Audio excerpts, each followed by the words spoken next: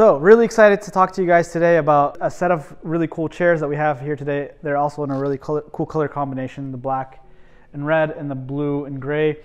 They are by the famous Knoll company, which was formerly independent of itself and now owned by Herman Miller.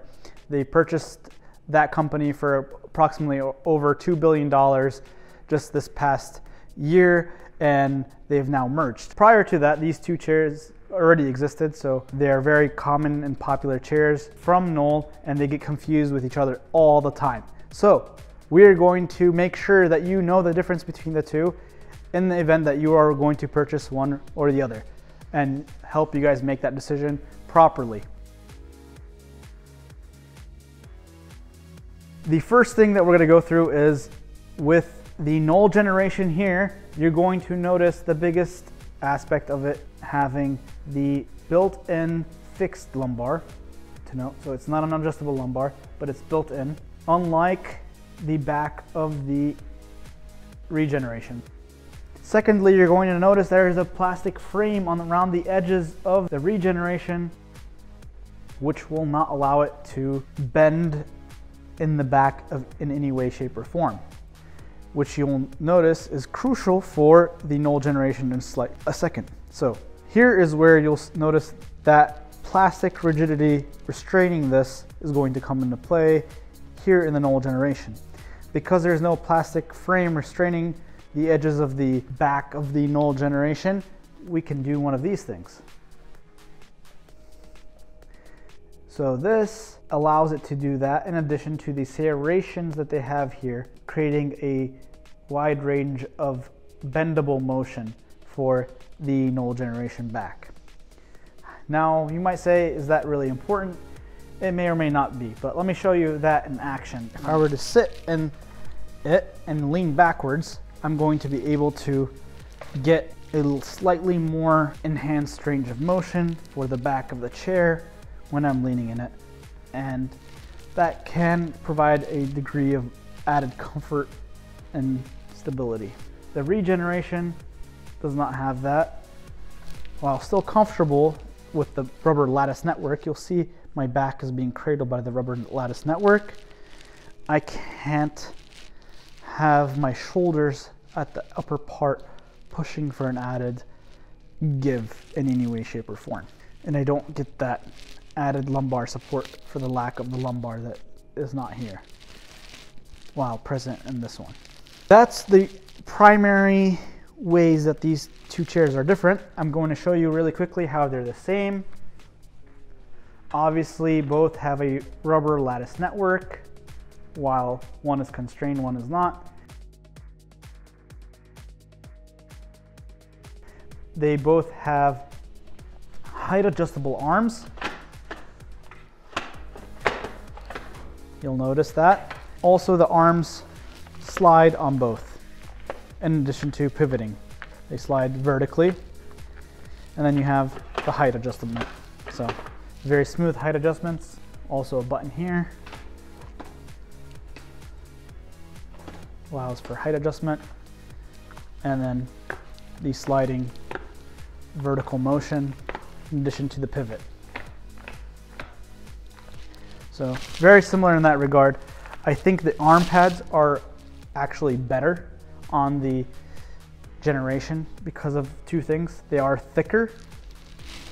You'll notice that they are th significantly thicker. And then I also like the shape of them being wider at the front as opposed to the back because I think when you're trying to rest your forearms, that's crucial and it feels more natural. The arm pads here are slightly thinner while still comfortable, I just don't like that shape personally, having these two together. But nonetheless, that's a way to be able to differentiate the two as well. Finally, we're gonna evaluate the seats and the, the seat depths and the tilt locks that come with them. The seats are both similar in terms of the cushions, very similar. They're not really significantly thick cushions or amazingly durable cushions. There are higher grade cushions with that regard. Steelcase probably has the best cushion based chair if you are going to look at that. but they are still pretty good cushions nonetheless. If we're going to look at the next function as the seat depth, you're probably going to be better off doing that while you're standing and you're going to have the seat depth on the right side of the regeneration with a decent range of motion of approximately six to seven inches and then you're going to have six to seven inches in the generation compared to the regeneration. You have the tilt locks. The tilt lock on the generation is on the right side here. It's nice and has a couple different angles. Actually, it's only two clicks on the generation, so it's 90, 110, and then all the way back. So two different lock settings for the generation, 90 and 110 degrees, and then all the way off. The regeneration here is on this lever right here, and it's only on or off.